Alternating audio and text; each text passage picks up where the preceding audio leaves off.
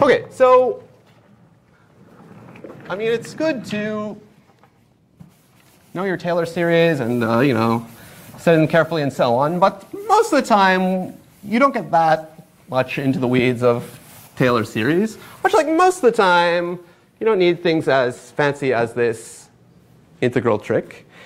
And uh, let me just tell you perhaps the highest level takeaway from this ln Taylor series bit, which is this. The thing to remember is that you know ln of 1 plus x is basically x when x is small.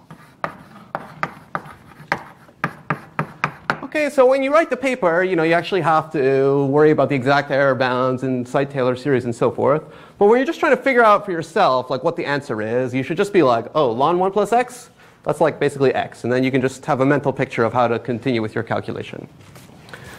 Um, by the way, you know, we have many symbols now, and like this, this one uh, swung dash has an official meaning like this. This two swung dash is approximately equal. This has no meaning. That's like a vague symbol that just intuitively means it's kind of roughly equal to. So that's what I mean by that.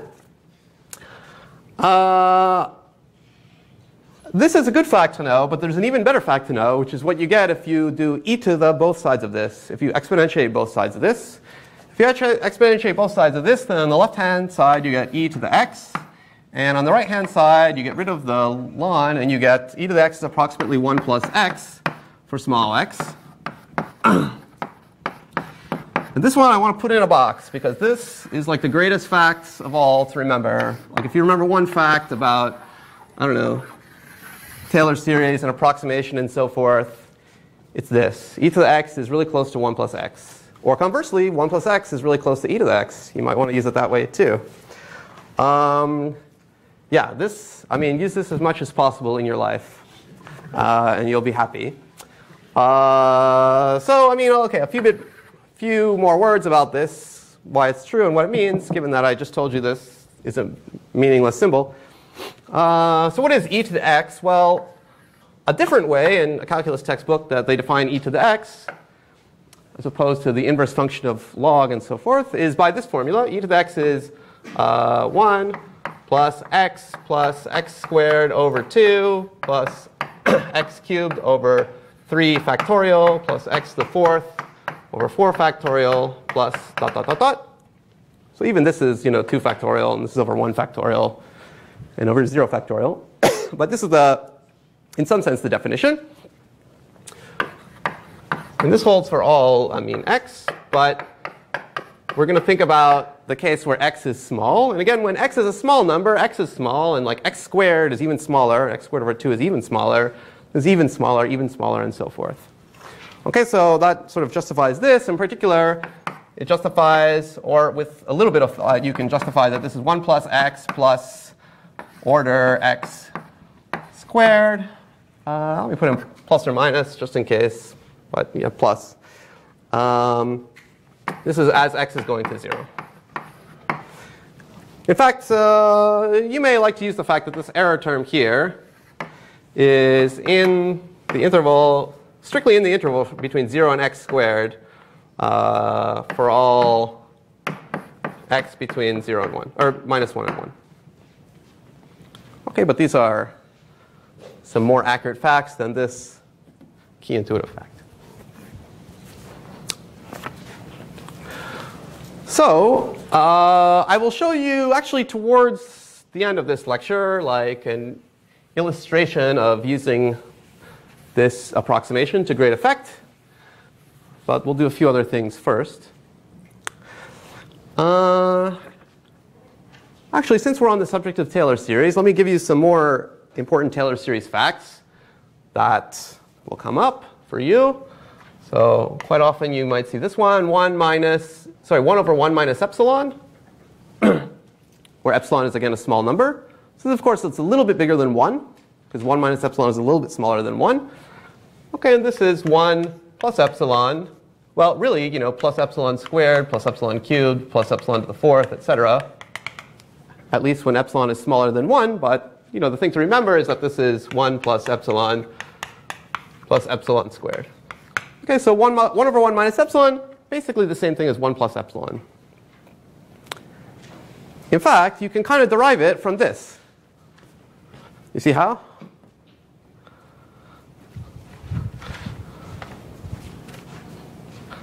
I mean, you can say, and uh, this is not 100% precise, but you know, it's an example of like, well, let's just get to the right answer, and then when we know what the right answer is, we'll figure out how to write it very carefully. I mean, 1 over 1 minus epsilon, I just told you that 1 minus, okay, 1 plus x is basically the same thing as e to the x. So take x to be minus x. So 1 minus x is basically the same thing as e to the minus x. All right, so this is basically 1 over e to the minus epsilon. Okay, which now we can, this is a true fact of mathematics. This is e to the epsilon. I mean, it's reciprocal, and then this is 1 plus epsilon. This is not a joke. It's totally, I mean, you can justify this, but um, this is not how you would actually I, I never actually think this. It's just something like I noticed when I was preparing the lecture. And I was like, oh, that's cute. It illustrates that this fact is so useful. Um, because, I don't know, I don't know, I have this one in my head. So going from this to this is straightforward, but you can, you can do it. Um, another one is that root 1 plus epsilon. Uh, I don't ever remember the exact Taylor series for this, but I know it starts 1 plus a half epsilon, and then the next thing is epsilon squared. This is another good thing to remember. Square root of 1 plus epsilon, very similar to 1 plus epsilon. It's 1 plus theta of epsilon. And the exact constant is a half. Of course, you can also get this one using the same idea, right? right? Because this is approximately e to the epsilon square root. So e to the epsilon is like 1 plus epsilon. Now, by the true laws of exponents, this is e to the epsilon over 2. And by this approximate law, this is approximately 1 plus epsilon over 2, which, as promised. Uh, yeah, it's, it's, it's, no joke. This is really, uh, this is really useful.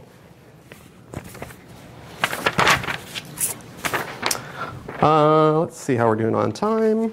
We're doing okay. Let's do um, practice example. I mean, this is like instead of lecture times, like tutorial time, I'll just give you a quick illustration of how to do a problem.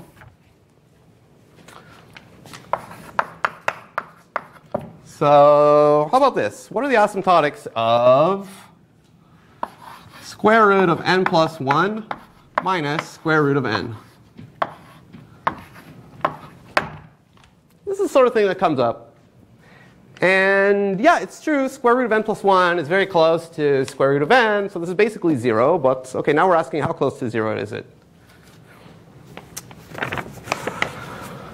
And how would I try to solve this problem? Well, I guess you try to put things into standard form as much as possible. So uh, square root n is already doing great. I mean, it doesn't get, you can't really simplify this anymore. But this is not so great. I mean, it's not in the standard form that we talked about before. But we have this belief that it's very close to square root n, so we should strive to make it look like square root n as much as we can. So the way I would do that is like the following. Uh, square root n plus 1 is a little bit like the thing we did with ln of n plus 1.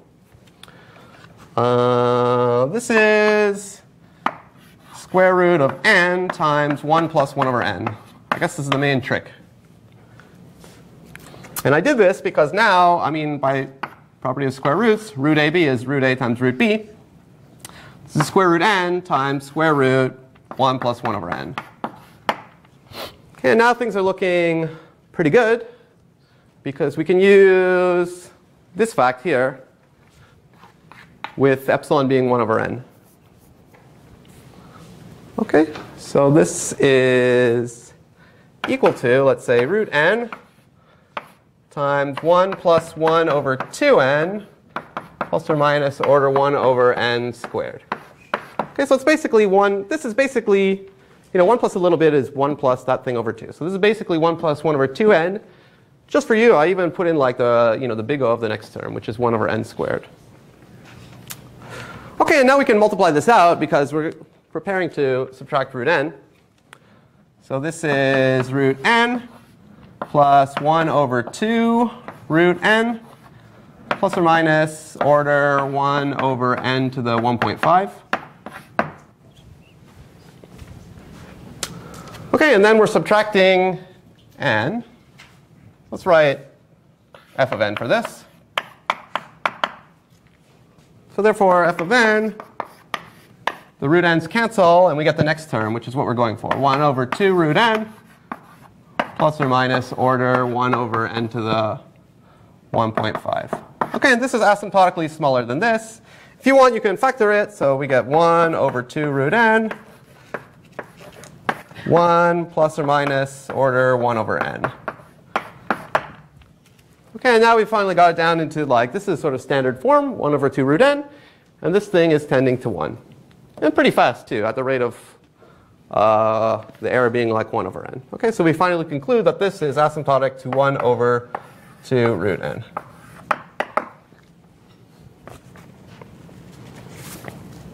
Any questions?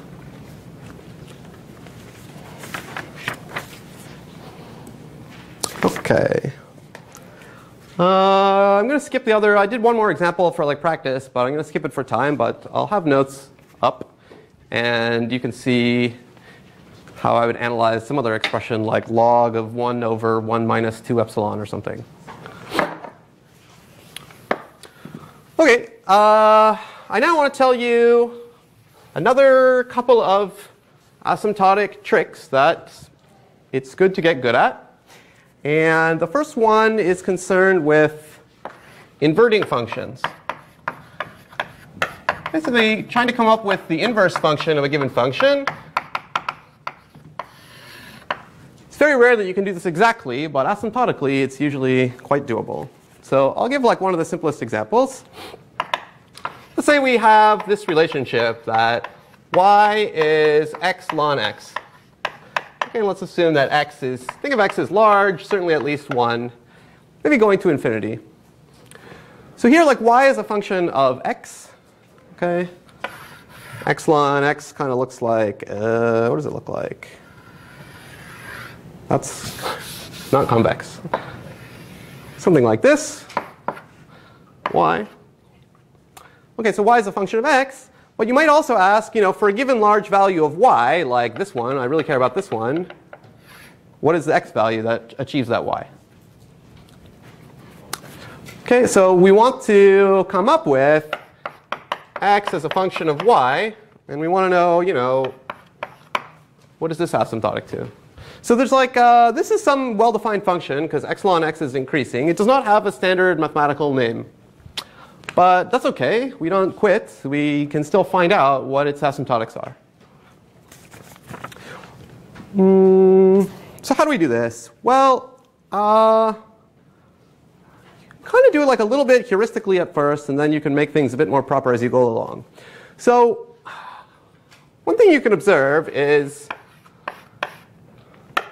uh, y is basically x it's theta tilde of x, right? It's like saying if you ignore log factors, which are small factors, it's basically like y is proportional to x.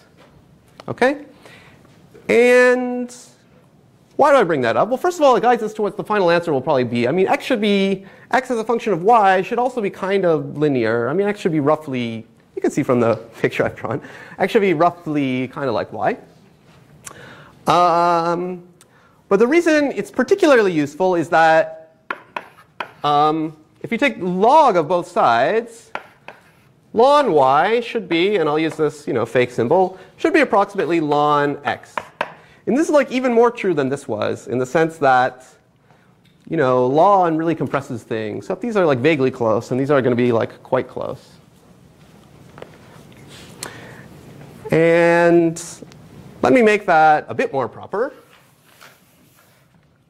Um, if we just take this defining relationship and take the log of both sides there,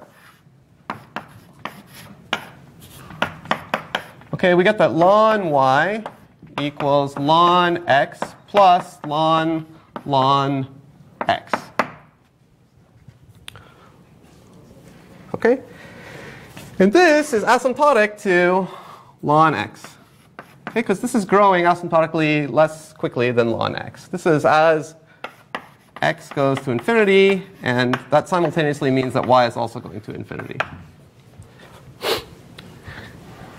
And now we're in great shape because it means that x ln x is asymptotic to x ln y.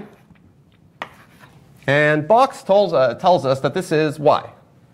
So we have that. Um, oh, I should have written it this way. x ln y is asymptotic to x x, which equals y by the box relationship. And uh, that's good, right? Because like now we can solve for x in this relationship.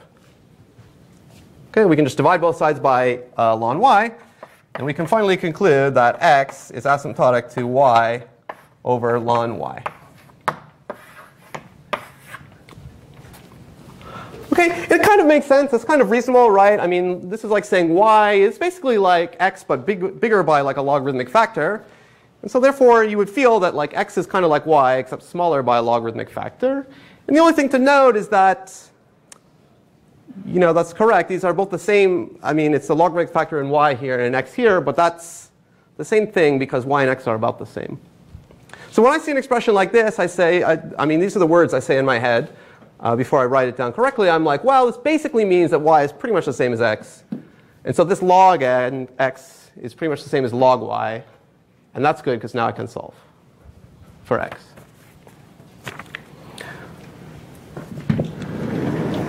Okay, so let me do one more example of this. I hesitate to erase this great fact, but I guess I got to. So let's say I think to myself, all right, for some reason I have t squared log t equals n cubed, solve for t. Right, it's like a little bit annoying. If this log t weren't here, you'd be like, no problem, I square root both sides and I'm done. But I have this log t here, which is a drag. Um, but how do I solve this? Well, let's start out by taking the square root. That's going to help us. It's going to get us to t times root log t equals n to the 3 halves. And now again, in my head, I always say that like, uh, okay, like this is this is very close to t. So t is like basically on the order of n to the 3 halves. In particular, log t is really going to be like log n up to a constant factor. And that's good because then I can replace this log t with log n and bring it to the other side. Okay, so I mean to say it somewhat more formally, therefore log t if I take the log of both sides, I get log t plus a half log log t equals 3 halves log n.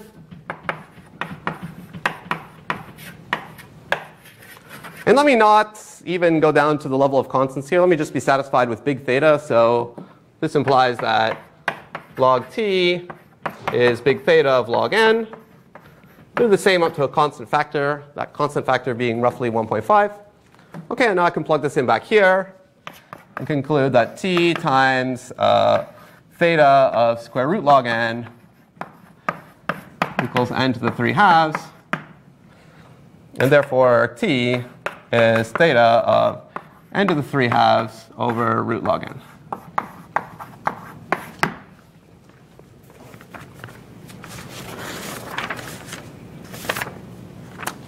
Okay?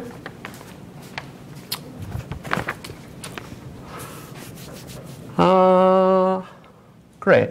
So now let me actually give you an example of like, well, a contrived example, but a, an example of where this kind of thing comes up in TCS. Um, this is concerned like a common thing that comes up, like minimizing or maximizing an expression with a parameter. Maybe you're trying to design like a fast algorithm for some problem on input size n. And you know, your algorithm might have a choice, a parameter choice. Let's call that parameter choice t. And maybe you can choose t to be whatever you want, and it affects the running time in a somewhat complicated way. And now you're trying to figure out what is the best t to choose to make my running time as fast as possible. Okay, so let's say, this is hypothetically, your algorithm's running time on an input of size n is, I just made this up, order n cubed over t plus order t log t. This is the sort of thing that like happens. I don't know, you like one piece of your algorithm takes t log t time if you chose t to be something, and uh, another part goes faster if you choose t bigger. I don't know, maybe you're bucketing some things into t buckets, and so this is how many buckets you have, and there's some extra processing per bucket.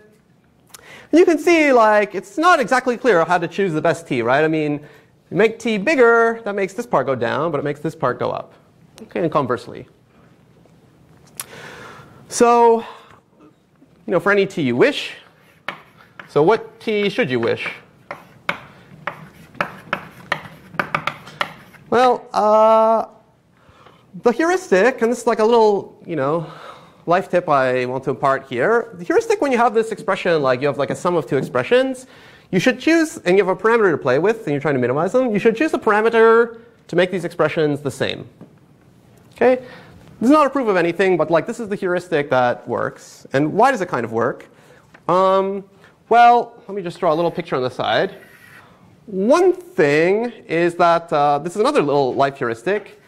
A plus B is basically the same as maximum of A and B.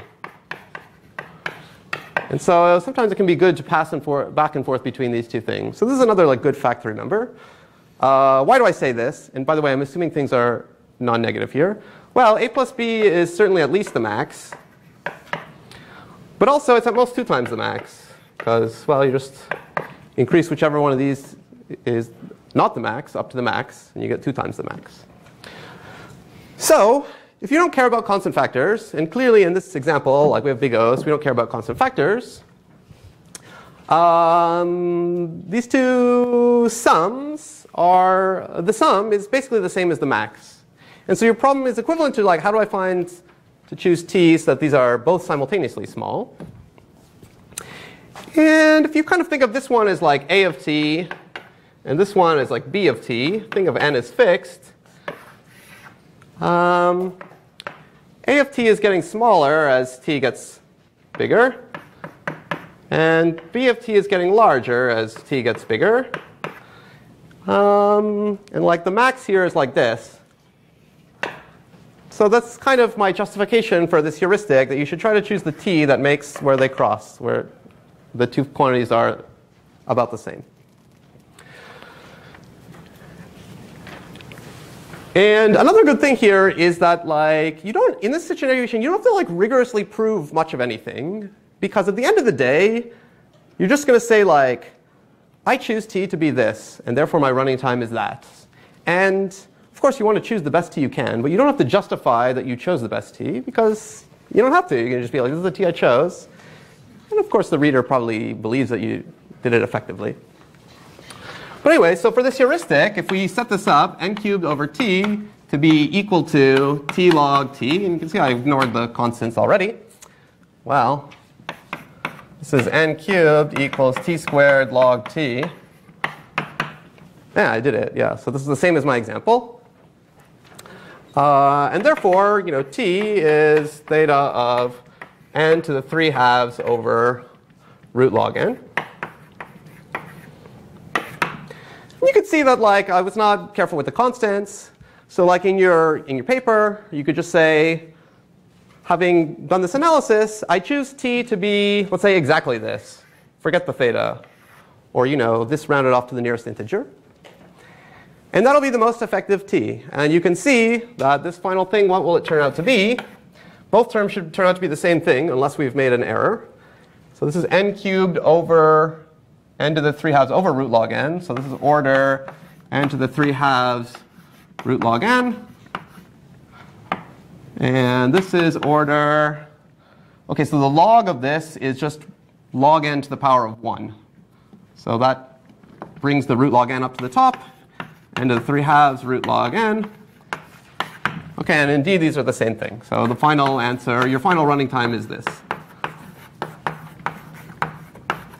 This is an example, by the way, of like how a strange kind of running time, for example, like n to the 3 halves root log n could arise. I mean, this is not too unusual. This is not too unusual. And then it arises due to this kind of minimization process.